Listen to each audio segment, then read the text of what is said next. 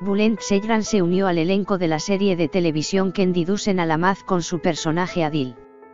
Emitido por TRT1, dirigido por Nziba Labanolu Aska, protagonizado por, se incluyó un nombre sorpresa en Kendi Dusen Alamaz, Los propios caídos, No llores, que fue visto con gran admiración y compartido por Haakan Ilmaz, Eilul Tumbar, Selen Soider y Enes Kokak. El popular actor Bulent Seyran se unió al elenco de Kendi Dusen Alamaz con su personaje Adil. Seyran, que aparecerá en la serie a partir del decimocuarto episodio, llamará la atención con su colorido personaje.